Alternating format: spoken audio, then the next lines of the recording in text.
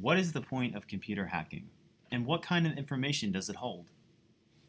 In the following video, we are going to interview a college student who has some insight on this topic.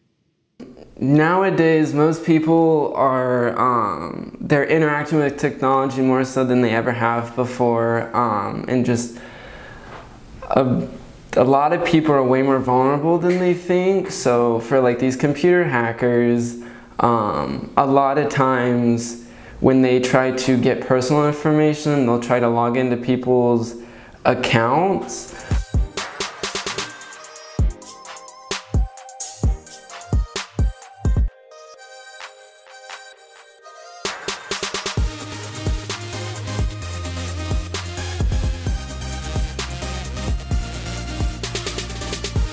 How do hackers hack our personal account and how they get through our the computers?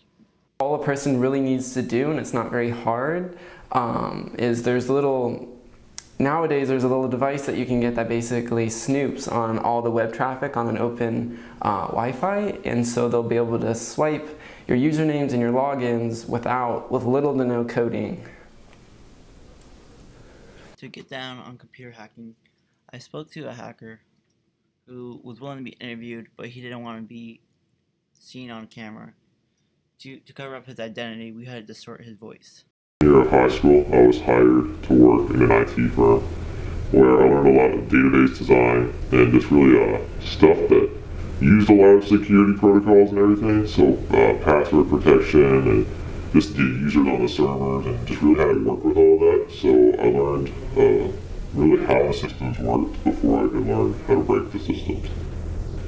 Now, how did you get started at 13? Uh, so I had a good friend of mine who we love computers, we love doing them together. So I ended up, uh, we started like a computer repair business just this kid, and we were building our own computers, a lot of gaming.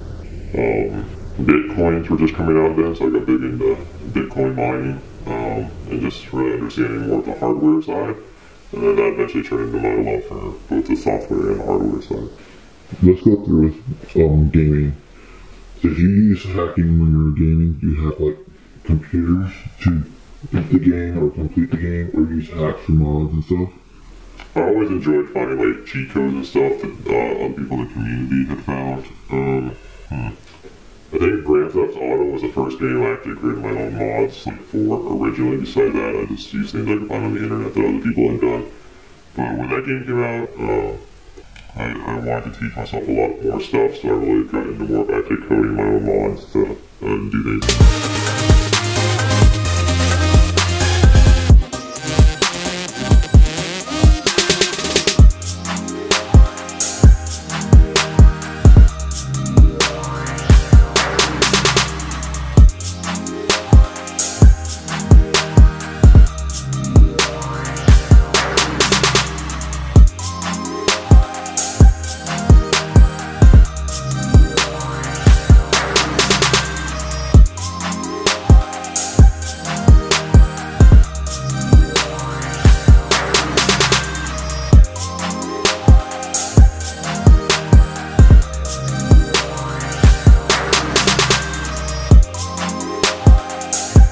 Hacking through webcam. Can you explain it to me? Is it much more vulnerable? Can you be more vulnerable getting hacked through a webcam? So the problem is so many people leave their internets open, like their actual internet, but their Wi-Fi is unlocked. And if you can get onto an unlocked Wi-Fi, then you can get in somebody's computer, which has your webcam on it, and it's not that hard to get into the Wi-Fi.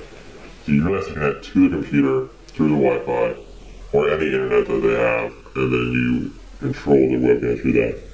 Um, so the problem is, I think one of the biggest problems there's a lot of sites, not a lot, I think there's good, good enough, but there's sites out there where um, these people will just hack in like random college girls' webcams or just women's webcams. And like the women never know, like they might never know, like in their entire life, and they never know that their webcam got hacked.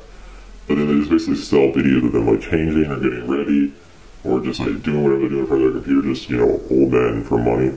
And there's definitely profit in that for sure. But um, if you can get into the computer, you can easily turn off the LEDs that come on with the webcam so that nobody even knows it's on. And then it's really easy just to to get into. So one of the big things you can do, uh, I mean, password protect your Wi-Fi for sure. Uh, if you use a lot of public Wi-Fi, then definitely sticking out uh, your webcam just so you don't have people looking into it.